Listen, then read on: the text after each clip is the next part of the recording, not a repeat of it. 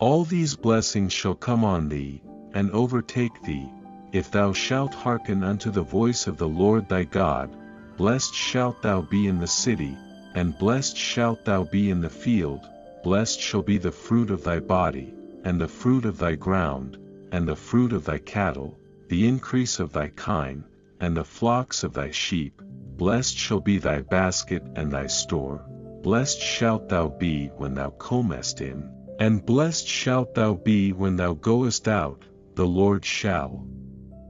Cause thine enemies that rise up against thee to be smitten before thy face, they shall come out against thee one way,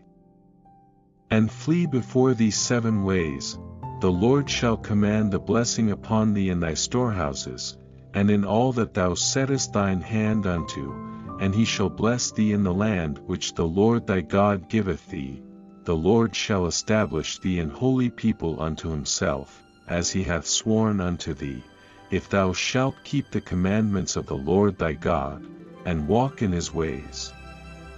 And all people of the earth shall see that thou art called by the name of the Lord, and they shall be afraid of thee.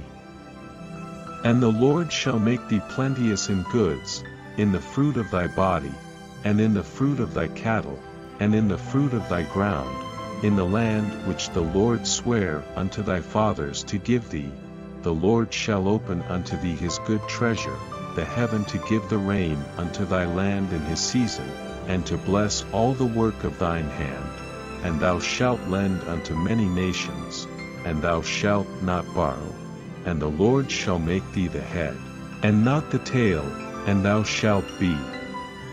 above only.